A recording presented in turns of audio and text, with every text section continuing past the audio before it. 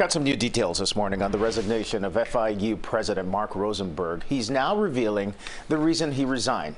It was due to sexual harassment allegations. A source says a female employee, almost 50 years his junior, nearly left her job after months of continued advancements. CBS 4's Carly Barnett with the story.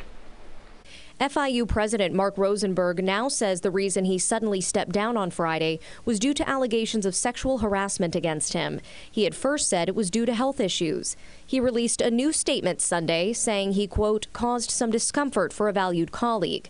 He goes on to say, I unintentionally created emotional, not physical entanglement. I've apologized. I apologize to you. I take full responsibility for my actions. Rosenberg attributed his behavior to the challenges of being a caregiver to his wife, a type 1 diabetic suffering from advanced dementia, saying, quote, When I finally realized the impact that her condition had on my personal well-being in late October 2021, I sought professional mental health services, end quote.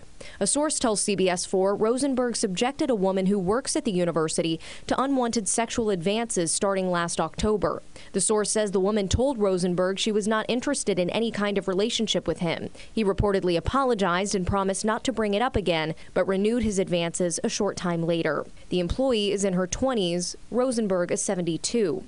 The woman told a fellow employee about what had been happening, and when he found out, Rosenberg reported his own behavior to the chairman of the Board of Trustees, who launched an investigation. After the initial findings, Rosenberg was given the choice to be terminated or resign, which he did. Carly Barnett, CBS 4 This Morning. And we should mention that CBS 4 is not identifying the woman at this time. We are told that she is hiring an attorney. The internal investigation is still continuing, looking through text messages and other forms of communication. The school's chief financial officer, Kenneth Jessell, is serving in the interim.